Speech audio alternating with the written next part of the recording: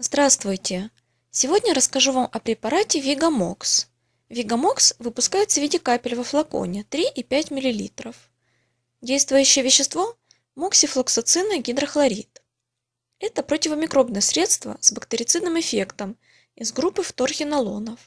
Вигамокс воздействует на широкий спектр микроорганизмов, грамотрицательной и грамположительной бактерии, анаэробы, атипичные и кислотоустойчивые бактерии.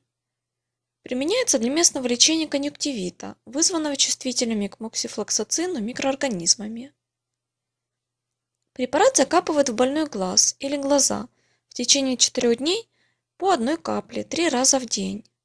После снятия колпачка не стоит прикасаться к посторонним предметам кончиком пипетки, так как это может привести к микробному загрязнению раствора. Вагомокс у детей и новорожденных также обладает высокой эффективностью и безопасностью, поэтому их применение возможно в той же дозе, что и у взрослых.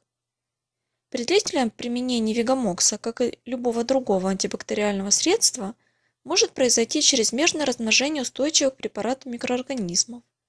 В случае развития суперинфекции рекомендуется рассмотреть альтернативные способы лечения.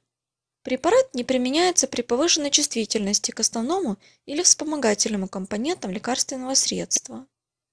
Вигамокс назначается по строгим показаниям, если нет эффекта от лечения препаратами других групп. Спасибо за просмотр, будьте здоровы!